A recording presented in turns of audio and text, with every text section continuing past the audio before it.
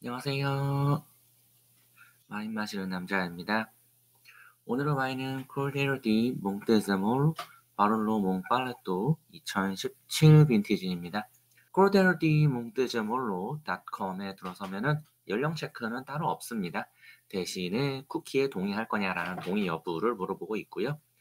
체크박스가 하나, 둘, 셋, 네 개나 있는 거는 또 굉장히 처음이라서 좀 낯설긴 했습니다만, 뭐, 일단 디폴트로 되어 있는 대로 동의를 하고 지나가주는 그런 착한 리액션을 해줬습니다. 노그마라는 카테고리에서는 와인을 만드는 데 있어서 본인들의 철학을 설명을 하고 있습니다. 동식물과 사람, 토양과 미생물은 모두 복잡한 관계를 형성하는 와인을 만드는 데 있어서 모두가 중요한 요소들이며 이러한 환경을 손상시키지 않으면서 생산 과정을 조절하는 데 목표를 두고 있다라고 하네요. 템프라에서는 와이너리의 역사를 설명을 하고 있습니다. 몽팔레토라는 요 지역은 바롤로의 라모라라는 곳에서 1340년부터 약 680년, 690년 가까운 시간을 19대를 이어서 쭉 상속이 되어 온 토지라고 해요. 최초에는 팔레티 가문의 후자까지도 배출했던 팔레티 가문의 소유였다고 합니다. 가문에서는 수많은 후손들에게 상속과 분할을 하는 과정에서도 이 몽팔레토라는 지역만큼은 쪼개지 않겠다라고 굉장히 고집을 부렸다고 해요. 그렇게 해서 지금까지 끝까지 보존이 되었다라고 하고요. 그래서 요 몽팔레토라는 지역은 요 꼴데로에서만 나온다라고 합니다. 팔레티 가문의 마지막 후손이었던 루이사 팔레티는 아들이 하나가 있고 딸이 둘이 있었는데 아들은 어릴 적에 사망을 하였고 두 딸 중에 한 명이 당시 이탈리아의 해군 중이었던 파올로 콜데로 디 몽테즈몰로와 결혼을 해서 이 아버지와 동일한 이름이 파올로라는 외동 아들을 두었는데 여기서 더 후손을 보지 못하고 루이즈 팔레티가 사망하면서 또 이 아들 파울로의 부모님도 꽤나 이른 나이에 사망을 하면서 만 21살에 이 팔레티 가문에서 갖고 있던 모든 것을 물려받았다라고 해요. 그의 두 아들은 지오반니와 엔리코가 있는데 이 둘은 와이너리로 물려받았고 그러면서 엔리코는 본인의 몫을 지오반니의 딸과 아들에게 매각을 했다라고 합니다. 즉 와이너리의 적통은 쭉 내려와서 팔레티 가문에서 이어졌다가 거기서 몽테제몰로 쪽으로 넘어왔고 거기에서는 지금 지오반니로 쭉 이어지고 있는 파울로에서 아들 파울로, 지오반니 그리고 여기서 지오반니의 딸과 아들로 쭉 이어지고 있다라는 생각입니다. 폰도라는 카테고리에서는 이제 와이너리의 가장 아래, 즉 땅에 대한 이야기를 하고 있는데요. 랑해 지역의 중심부에 50헥타르가 넘는 포도원을 지니고 있으며 그 주된 지역은 당연히 몽팔레토이지만 알바와 카스틸로네 팔레토, 샤라스코 등에도 땅을 가지고 있다라고 합니다. 현재 기준으로는 현재 2024년 기준으로는 100% 인증된 유기농법만을 사용하고 있다라는 걸 또 어필을 하고 있고요. 마지막으로 비니에서는 올고리오, 바리에탈리, 슬레치오니, 스페치알리의 4개 라인업으로 와인을 만들고 있다라고 소개하고 있습니다. 올고리오는 바로 몽팔레토와 바로 카테라, 바로 엘리코 6세를 만들고 있고요. 바레탈리로는 돌체토 달바, 바르베르 달바, 랑의 레비올로, 랑의 아르이스가 있다고 하고요. 셀레치오니에서는 랑의 샤르네 알레올로와 바르베르 달바 슈페리얼의 푼타니가 있고 마지막으로 스페치알리에서는 알트랑가 베아벤, 바롤로츠나토 그리고 그라파디 바롤로가 있다고 하네요. 오늘 마실 몽팔레토를 보면은 바로로 갓데라와 바로로 리세르바 고레트를 생산하기 위해서 따로 빼놓은 밭을 제외한 몽팔레토의 전 지역에서 재배한 포도를 다 이용한다라고 합니다. 전체 와이너리에서 전체 14헥타르를 넣고 있는 즉 50헥타르 정도의 면적 중에 가장 큰 면적을 생산하고 있는, 담당하고 있는 그런 와인이라고 해요. 거기서 나온 소출을 이용해서 만드는. 이렇게 넓은 영역을 갖고 있다 보니까 고랑별로 혹은 언덕별로 다 다른 토양과 이런 스타일을 갖고 있는데 그거를 다 나누어서 각 구획별로 서로 다른 수확 시기를 갖고 있고 서로 다르게 수확을 해서 그걸 별도로 숙성을 하는 등 병입하기 전 단계의 모든 부분은 다 개별적으로 관리를 하고 있다고 합니다. 그래서 얘는 병입 단계에서만 믹싱이 돼서 들어오고 있는 그런 와인이라고 해요. 와인 서처에서 보면은 해평가는 79,421원입니다. 저는 아마 선물을 받았거나 아니면 와인바에서 한 8, 9만 원 정도로 구입을 했던 그런 기억이에요. 제가 산 건지 받은 건지 약간 긴가민가한 그런 상황입니다. 3명의 평가에서 별점 4.5개, 7개의 평점에서 평균 92점이라는 굉장히 높은 평가를 받지 않았나 싶고요. 시음적기로는 2023년부터 2042년을 안내하고 있는데 굉장히 좀 브로드하지 않나라는 생각입니다. 그리고 중간에 보면은 고렛들을 아마 제외한 평가이겠지만은 와이너리가 갖고 있는 아이코닉한 심볼릭한 와인이다 라고 소개를 또 한마디 해주고 있습니다. 비비노에서 보면 해당 빈티지는 727명이 평가해서 4.3점 역시 높은 점수를 받았습니다. 평균 가격은 86,129원이라고 하고요. 와이너리에서 내놓은 거나 이런 가격을 알 수는 없었지만은 개인적으로 생각하기에는 와인 서처에서 나오는 가격의 플러스 10% 정도 왜냐면 와인 서처는 판매가 기준이고 비비노는 구입가 기준이기 때문에 한 10% 정도 갭이 있는 거는 리즈너블한 수준이지 않나 라는 생각입니다. 와인에 대한 리뷰는 전체 빈티지에서 1826명이 남겨주었는데 볼드한 표현이며 따님도 꽤나 강력하고 드라이하며 굉장히 산미감이 있을 거라고 합니다. 484명은 가죽과 earthy, tar를 언급을 해주었고요. 450명은 체리와 라즈베리, red fruit, strawberry 등등을 445명은 오크와 담배와 바닐라를 이야기해 줬다고 하는데 지금 보시면은 뭐 공교롭게도 세 개의 집단이 전부 비슷한 400 중후반 이 정도이기 때문에 나름 되게 균형 잡혀 있는 스타일이지 않나라는 생각입니다. 굳이 언급을 하자면은 토양에 대해서는 굉장히 좀 전통적인 그런 바롤로여야 하지만 와인 메이킹 입장에서는 상당히 모던하지 않을까라고 추측을 해보고 있습니다. 그래서 지금 현재 시간 9시 40분 기준으로 설명드리면 뒤에 있는 디켄터에는 아까 8시 20분에 넣어놓은 현재 기준으로 1시간 20분 디켄팅이 되고 있는 상태이고요. 지금 잔에 있는 거는 8시 50분 그러니까 지금 50분 정도 잔 브리딩이 되고 있는 상태입니다. 마시면서 방향이나 이런 건 약간 다 달라질 수는 있겠습니다만은 일단 잔에 있는 걸 한 잔을 하고 디켄터에 있는 걸로 갈지 아니면은 바틀에 있는 거를 한잔 더 할지를 결정한 다음에 마지막 잔을 또 둘 중에 나머지로 진행을 하게 될 것 같아요. 컬러는 지금 7년 정도 지났다라고 생각을 했을 때, 음, 생각보다는 올드합니다. 네. 그래도 바롤로인데, 플러스 7년밖에 안 지났는데 라고 생각을 해도 어 뭐랄까 색이 생각보다 좀 연한 편이에요. 뭔가 얘네가 사실 진짜 모던한 스타일로 만들면 약간의 보랏빛까지도 보일 수 있는 그런 빈티지인데 지금 보면 보라색은 저는 어 보라색이 있다라고는 평은 못할 것 같고요. 색의 뎁스도 굉장히 연한 편입니다. 테두리 부분에는 약간 바롤로의 특징이랄까 싶을 정도로 약간의 노란빛, 살짝의 황갈색 그런 느낌도 벌써 드러나고 있고 가운데로 해서 자연스럽게 가넷, 루비, 레드 이런 톤으로 들어오는데 중간 부분에는 약간의 갈색빛, 네, 고동색빛 이런 것도 좀 보이는 느낌이에요. 뎁스는 이 정도 양을 따랐을 때 제가 위에서 내려다 보면은 엄지손가락과 검지손가락이 다 보일 정도의 그런 뎁스입니다. 그래서 저는 뭐 이거는 연하다. 아주 연함 정도까지는 아니지만 연함 혹은 연함과 중간 사이 그 정도로 얘기를 할 수 있을 것 같습니다.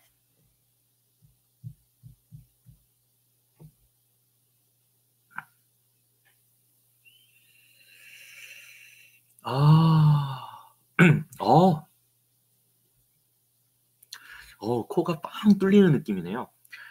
향에서는 순간적으로 치고 올라오는 게 약간의 3차 향 같은 약간 어 아파스멘토 공법으로 만든 무언가가 연상되는 그런 훅 하고 치고 들어오는 굉장히 강렬한 뉘앙스가 있습니다. 나무 껍질 같은 느낌. 네. 거기에 살짝의 간장 같은 느낌. 뭐랄까, 음, 되게 고숙성된 벌써부터? 아니 얘가 왜? 이럴 정도로 이거 약간 뭐 탄 거 아니야? 싶을 정도로 굉장히 좀 얼씨한 느낌의 어 뭐랄까? 레더 느낌이 굉장히 강해요. 근데 레더는 레더인데 약간 어 미묘한 수준의 아주 잘 컨트롤된 그런 레더도 아니지만 동시에 그냥 뭐 벗겼는 지 얼마 안 된 그런 레더도 아닌 적당히 한 중간 정도의 그래서 약간 음 농부가 가죽으로 된 부츠를 하나 샀는데 이분이 어 적당히 관리하면서 한 3 년에서 5년 정도 신은 듯한 그런 레더의 향이 납니다.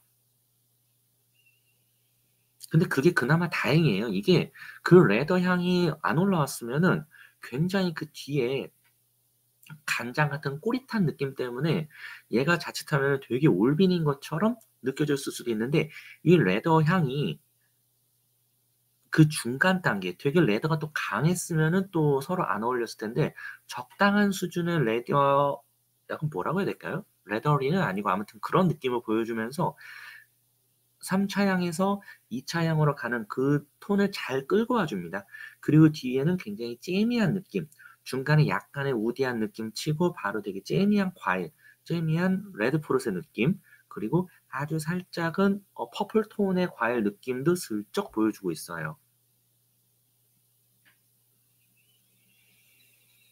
아 그런데 분명히 얘기할 수 있는 건 아직 맛을 보기 전이지만은 '얘네 되게 모던하게 만든 것 같다.'라는 싶은 그런 느낌이 드는 게 과일이 너무 영해요. 그러니까 향에서는 되게 좀 올드한 느낌을 향에서 끌어내는 것 같았는데 3 차, 2 차하고는 1 차까지 왔을 때는 과일이 또 굉장히 영한 과일.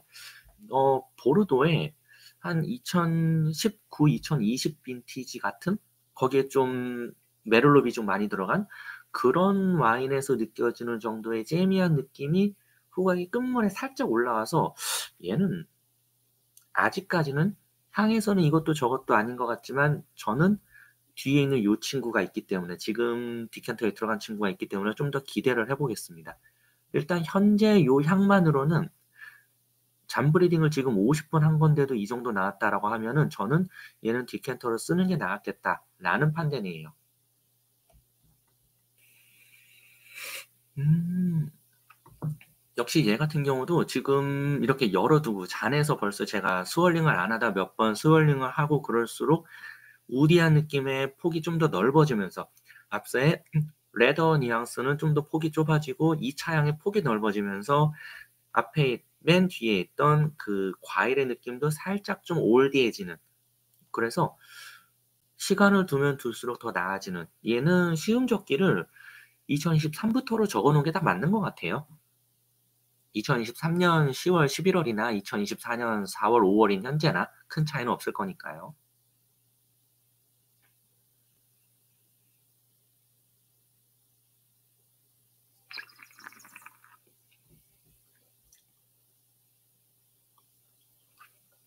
음, 음. 어, 마셨을 때 일단 당도는 확실히 드라이합니다. 그리고 산도는 저는 moderate plus 바로 줄 것 같아요. 아주 높다. 아니, 그냥 플러스 줘도 될 것 같습니다. 네, high 줘도 될 것 같고, 타닌은 지금 2017 빈티지를 잔 breathing 요 정도 했을 때에, 음,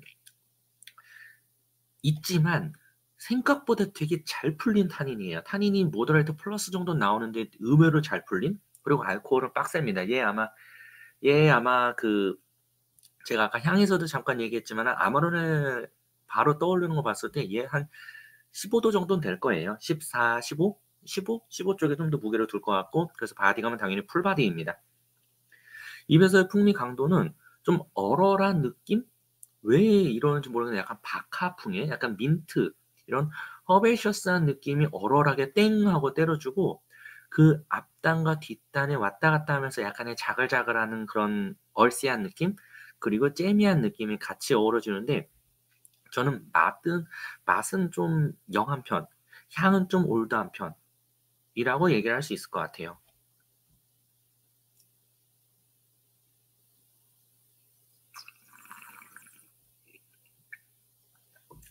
아.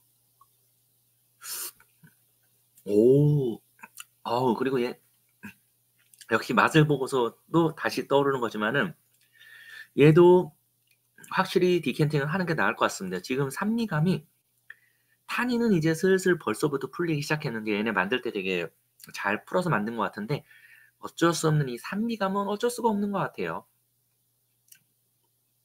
어우. 근데 이 산미가 굉장히 찌르거나 하지는 않고 이제 마시고 나서 기분 좋은 약간 찌푸림? 뭐랄까 그냥 저희가 벌칙으로 벌칙으로 레몬을 먹는 그거랑 어떤 회 같은 데 레몬을 뿌려서 그 상큼함을 즐기는 거랑은 다른 문제잖아요. 근데 얘는 내가 뭔가 좀 더 맛있게 무언가를 먹기 위해서 추가한 산미 같은 느낌. 그렇습니다. 음.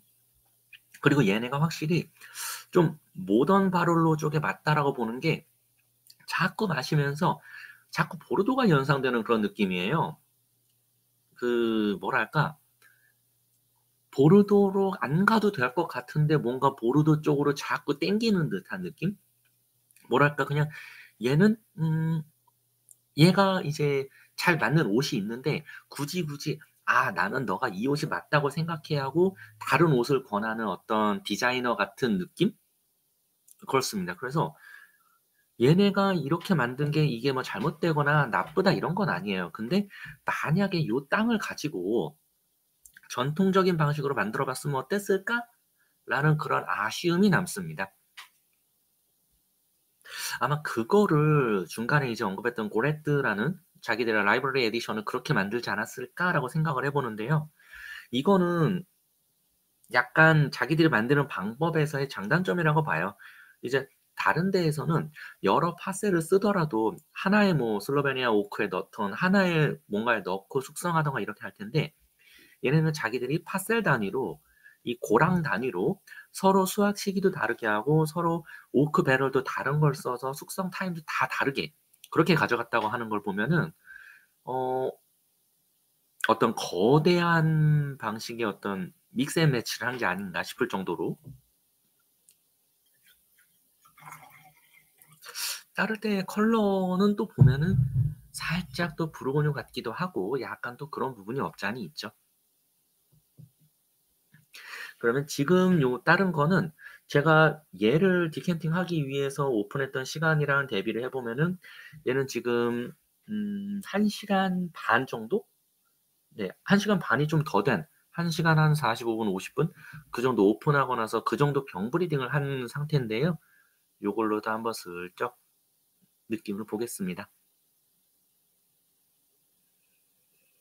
어, 확실히 더 깡깡한 느낌이에요. 그 우디한 느낌이랑 그 가죽의 느낌이 아까는 가죽이 그래도 약간 좀 손때를 탄 한 3, 4년 신은 부츠 같은 느낌이었다면 지금 얘는 그냥 생 가죽에 가까운 심지어 제가 잔을 별도 린스도 안 하고 그냥 그 잔 그대로 쓰고 있는데도 어우 가죽 느낌이 어, 네, 진짜 이게 그 뭐 가죽 부츠 있잖아요. 가죽 부츠 어 대한민국 대한민국 남자라면 대한민국 남자라면 이제 뭐 특별한 뭐가 있지 않으시다면은 군대를 갔다 오셨거나 뭐 공익을 가시든 상근 예비역을 가시든 뭐 아니면 뭐 장교로 가시든 어쨌든 군화는 한 번 정도는 신어 보셨을 텐데 그 군화 중에서도 진짜 새 거를 보급받을 때 그 새 군화에서 나오는 그런 향이랄까? 거기 그 향에서 인조 가죽의 향을 쓱 빼면 대충 이런 향이 나올 것 같은 그 정도로 가죽 향이 세요. 약간 그 가죽 향이 코를 찌르는 혹은 이제 어, 새 차를 뽑았을 때 진짜 아무것도 안 한 그 새 차의 문을 덜컥 열었을 때 그 차 안에서 훅 풍기는 그 가죽향. 와, 그리고 병브리딩만 한 상태에서 입에 넣었을 때 확실히 올라오는 거는 산미도 산미지만 탄닌이 엄청 빡빡하게 올라와요. 이 상태에서 만약에 제가 이제 마시고 나서 얘기했으면은 탄닌의 하이를 바로 찍었을 정도로 입 안이 꺼끌꺼끌한 그런 느낌입니다.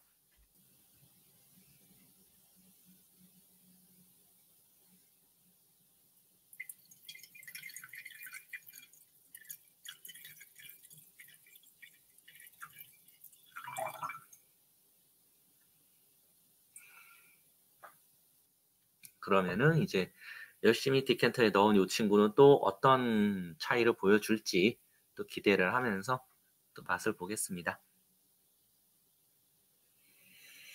음, 오.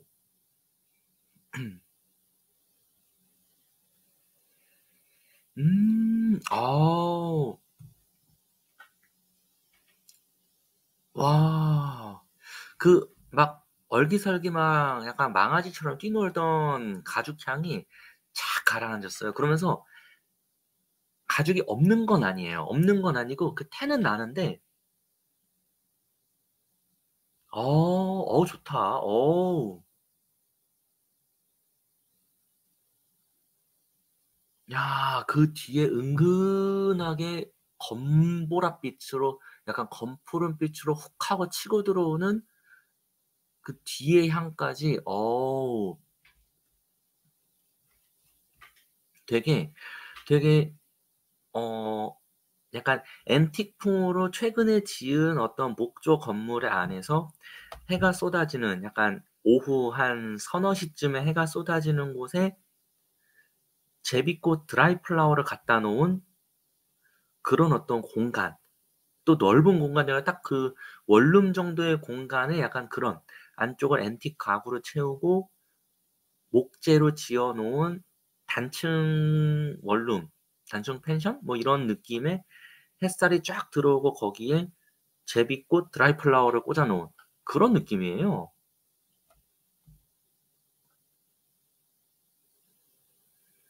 어 진짜 여 지금 여기서 되게 제비꽃이랑 붓꽃 향이 확 올라옵니다. 우와.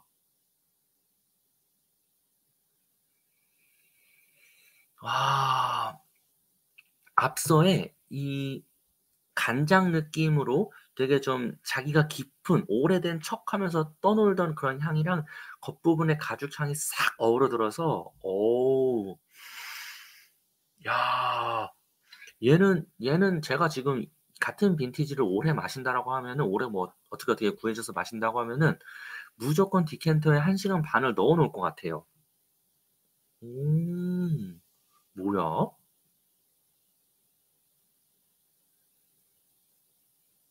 야. 오 완성도 괜찮네.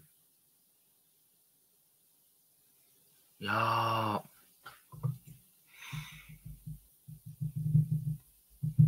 야 뭐지? 물론 그러면서 그 향이 길게 쭉 뻗어야 되는데 그러진 못하고 약간 뚝 끊기는 느낌은 뭐 그것까지는 영빈이니까. 그리고 향의 텍스처가 약간 굵은 그 느낌은 있지만 어우 그래도 이 정도면은 아까 대비해선 어우. 근데 이 정도를 디켄팅을 했어도 입안에서 산미도 짱짱하고 구조가 명확하고 그러면서 타닌은 훅 녹아 있어서 타닌이 녹아서 은근하게 배어 나오는 약간 당미감도 있고 이게 약간 혀를 살짝 얼얼하게 하는 이 알코올 도수랑 어우러지면서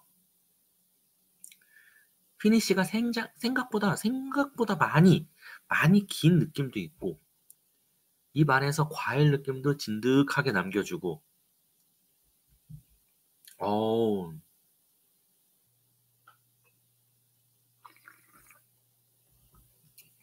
음. 근데 이렇게 얘는 디켄팅을 했는데도 약간 이 뭐랄까 음 보르도 지향적인 그 특히 어 메를로 많이 들어간 그런 느낌은 여기서도 좀 남긴 하네요. 근데 뭐 그거 자체도 완성도가 떨어지거나 그런 건 아니니까 컨클루전을 하자면 저는 얘는 뭐 무조건 베리 굿을 줄 것 같습니다. 이렇게 만들었다면 베리 굿을 받아야죠 이거는.